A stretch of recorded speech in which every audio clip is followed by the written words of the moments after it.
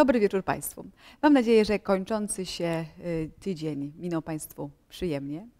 Y, Po raz kolejny witam w naszym studiu mecenasa Sławomira Platę. Witam Cię Sławku. Kłaniam się również. Z którym porozmawiamy o ubezpieczeniach, a konkretnie o lekarzach ubezpieczalni i o spotkaniach z nimi podczas procesu y, o ubezpieczenie, o odszko- o odszkodowanie.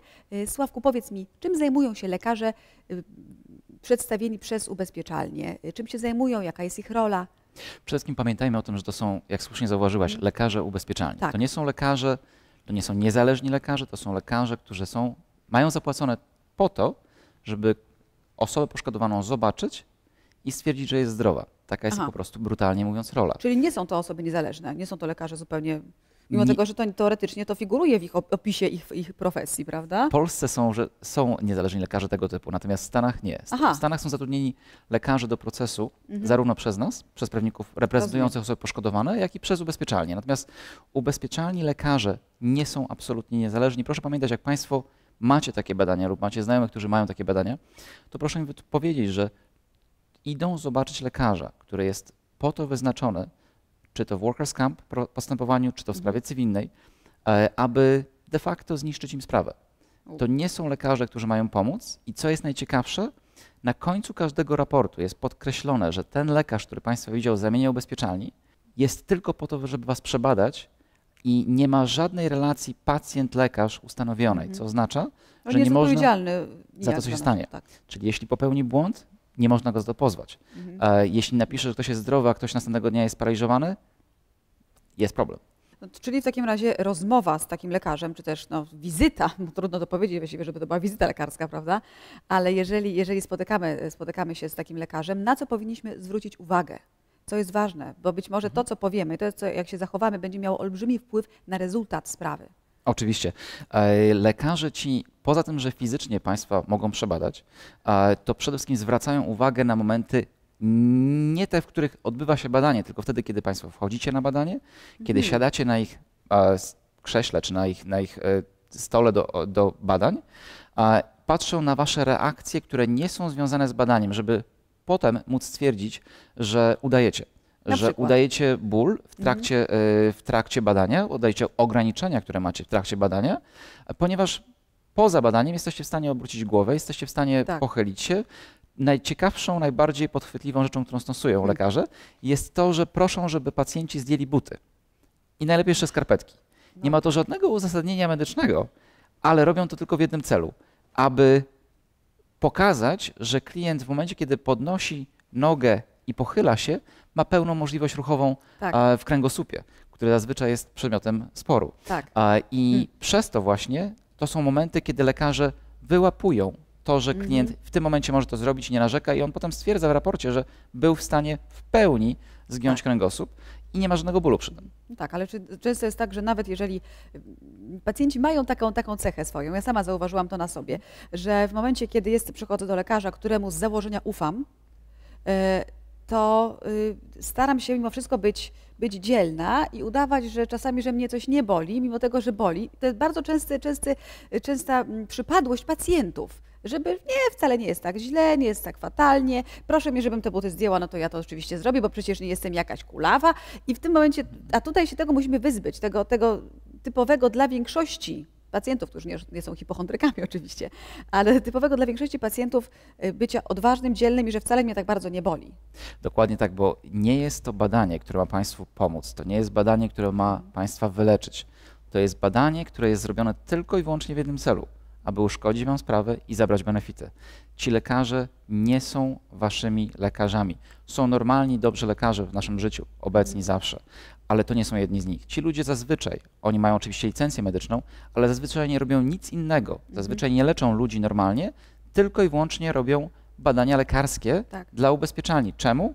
Bo nie potrzebują ubezpieczenia medycznego do tego.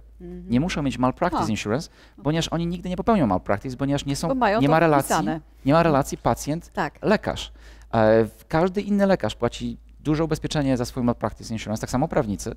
E, Ci nie muszą tego robić. Jeśli robią tylko i wyłącznie badania lekarskie dla ubezpieczalni, oni nie muszą mieć ubezpieczenia. Czyli jak się zachowywać? Przede wszystkim pamiętajmy o tym, że jak wchodzimy, to lekarze od razu obserwują Państwa ruchy. Jak, czy kulejecie, czy przyszliście z pasem, który ma wspomagać kręgosłup, czy macie braces założone na kolana, które mają pomagać Wam w ruchach kolana, czy zabezpieczać te ruchy kolana. I cokolwiek macie przez lekarzy powiedziane, żeby nosić, musicie mieć na takie badania lekarskie i najważniejsza rzecz, musicie absolutnie za każdym razem mówić, kiedy boli.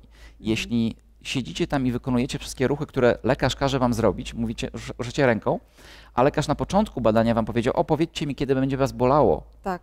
I tego nie zrobicie, To no to on się twierdzi, że macie normalną range of motion, czyli normalny zakres ruchowy e, i niestety przegrywacie w starciu z nim bardzo mocno i Mhm. bardzo szybko. E, Więc przede wszystkim pokazujemy, kiedy boli. Nie lekceważymy to. swoich, swoich dolegliwości na pewno. Na pewno nie. I Za, każdą, za każdym razem, kiedy zakres ruchowy, który prosi was lekarz taki o wykonanie jakiegoś ruchu, jakiegoś Mhm. ćwiczenia i to sprawia ból, musicie powiedzieć, to boli. Tak. I zaprzestać robienia tego, bo mimo tego, że powiecie, że boli, a zrobicie to dalej, on wciąż Aha. zapisze to, że zrobicie. Co jest ciekawe, to jest to, że mimo wszystko, e, pomimo tego, że zrobimy wszystko, co trzeba i pokażemy lekarzowi to, co, e, to, co faktycznie się dzieje, to niestety prawda jest taka, że on i tak napisze na końcu dnia Czyli jesteście perfekcyjnie, jesteśmy zdrowi. praktycznie za każdym razem. A czy możemy odmówić wykonania jakiegoś, y, jakiegoś ruchu, jakiegoś gestu, jeżeli na przykład no, lekarz powie, no to proszę bardzo, teraz proszę się skłonić, a my mówimy nie, bo wiem, że to mnie będzie bolało, więc nawet nie spróbuję. Y, Spróbować należy, ale do, Mhm. do momentu, w którym zaczyna być ból. Jak Tak. zaczyna być ból, przerywamy to automatycznie i Mhm. mówimy lekarzowi, nie mogę tego dalej zrobić. Mhm. E, Konieczna jest werbalizacja skargi, którą Państwo macie, czyli nie tylko wykonywanie. Jęknięcie Tak, ewentualne. Tak, tak, tak. I Mhm. nie zapominajmy, to nie są, jeszcze raz powtórzę, lekarze, którzy mają Państwa leczyć. Oni podpisują się pod tym, że Państwa nie leczą. Czyli nie są to lekarze, którzy stoją po naszej stronie. Na pewno nie. I co ciekawe, zdarzały się przypadki w historii, że ci lekarze byli pozywani do sądu o malpractice. Mhm. Są to wyjątkowe okoliczności, w których to się zdarza. Jeśli taki lekarz Państwu powie, nie powinni Państwo robić takiego i takiego leczenia, Mhm. Potem okaże, okaże się, że brak tego leczenia spowodował pogorszenie Państwa Tak. kondycji wynikającej z wypadku, to de facto widziałem pozwy przeciwko takim lekarzom, mimo tego, Mhm. że nie ustanowili oni formalnie relacji pacjent, e, pacjent-lekarz, to była to domniemana relacja pac- pacjent-lekarz przez to, że dali komuś poradę, więc oni się przed tym bardzo bronią. Uważają bardzo na to, żeby nic Państwu nie powiedzieć w trakcie badania, tylko chcą posłuchać, sprawdzić. I jeszcze jedna ważna rzecz. Dają Państwu do wypełnienia bardzo dużo formularzy. Moja prywatna opinia, i to dzielę teraz ze swoimi klientami również, jest taka, żeby tych formularzy nie wypełniać poza jakąś taką bardzo prostą informacją na temat nazwiska, imienia Tak. i przede wszystkim nie pozwalać kopiować swojego ID. Pierwszą rzeczą, co się dzieje w tych miejscach, które robią te badania lekarskie, oni proszą pacjenta o, pacjenta, osobę, która przychodzi, osobę poszkodowaną, o ID, po to, żeby je skopiować.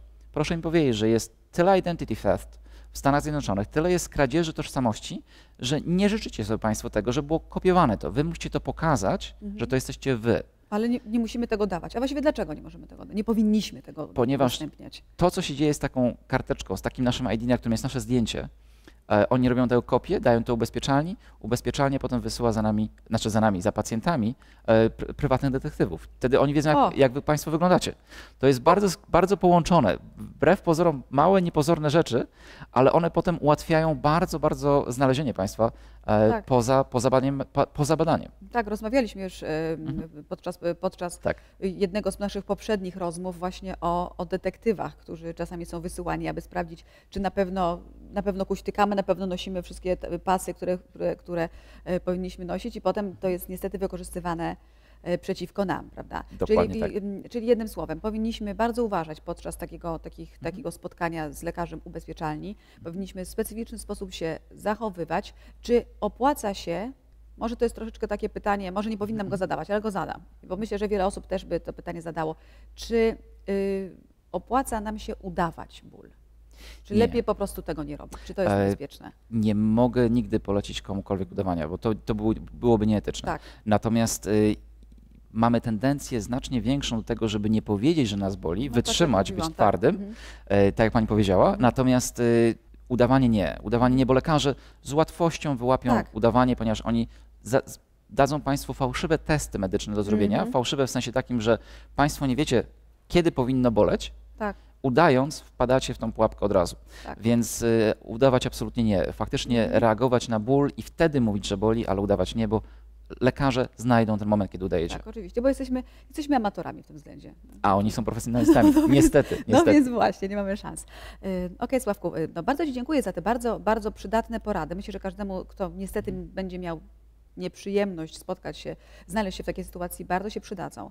A powiedz mi, o czym będziemy rozmawiać następnym razem, bo z tego, co mi zdradziłeś przed wejściem do studia, będzie to kolejny niezmiernie ciekawy temat. Tak, będziemy rozmawiali o tym, na co zwracają prawnicy uwagę przy Mhm. przesłuchaniach osób poszkodowanych. Nie tylko poszkodowanych, ale generalnie, co robią prawnicy, jak me, czasami męczą klientów, Tak. żeby uzyskać pewne zeznania i czym się różnią te zeznania od zeznań na procesie, czyli krótko mówiąc, zeznania przedprocesowe z procesowymi. Mhm. Jaka jest różnica? Kiedy, co się mówi, jak się mówi i jak one działają? I na co uważać? I jak, jakie Jakie- potem mają znaczenie? Oczywiście. Sławku, bardzo Ci dziękuję Dziękuję bardzo. za rozmowę. Drodzy Państwo, z mecenasem Platą spotkamy się już w przyszłym miesiącu.